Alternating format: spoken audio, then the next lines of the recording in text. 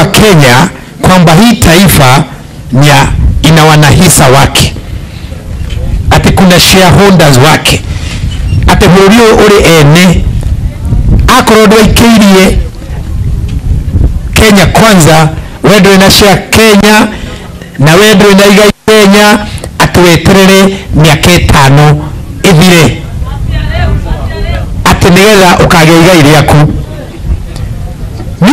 Mimi nafikiria sisi wa Kikuyu lazima pia tuwe watu ambao wana asanti, wana moyo wa kusema asanti na kujua ya kwamba sisi tuko katika taifa mzima ya Kenya.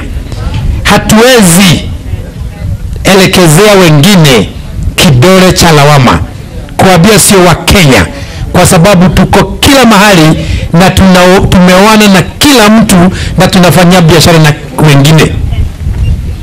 Nikiongea kuhusu Kalonzo Musyoka in particular,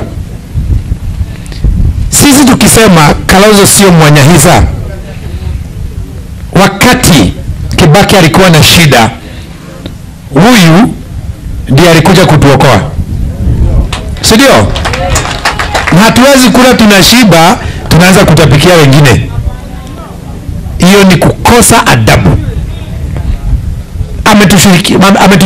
Ametushikilia mara mingi na hatuwezi mtaja kama a non-shareholder, na ningependa kufikiria ya kwamba ile Rais William Ruto alisema ati hiyo mjadala, wale ambao wanasema are primitive ningependa kufikiria hiyo maneno yake ni ya ukweli, kwa sababu hiyo mbegu ya uhasama inaonekana haijaisha.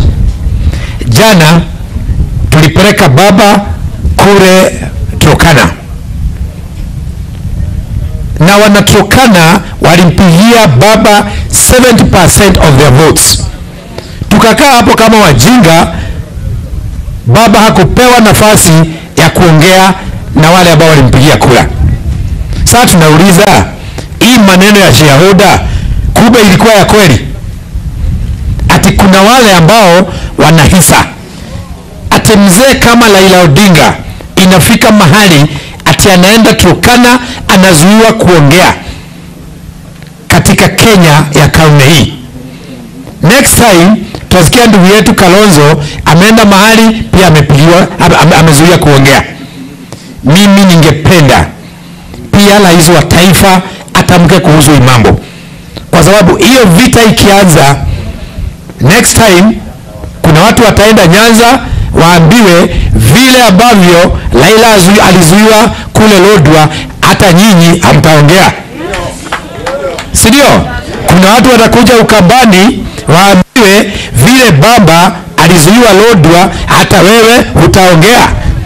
Hiyo ndio Kenya ambayo tunasema tunauda lazima tuwe na mtamko wa kitaifa wa kukomea hiyo injili mpya ya kuwazuia viongozi wengine kuongea mahali pengine wakiitwa waki, wakitambulikana kama na shareholders. Hii nchi yetu ni hii nchi ni yetu zote, na ndio sababu sisi kama Azimio, hata sio Raila peke yake, tukamteua Kalonzo Musyoka awe kiongozi wa upande wetu katika mazungumzo. Kwa sababu tunajua yeye ni mwanadiplomasia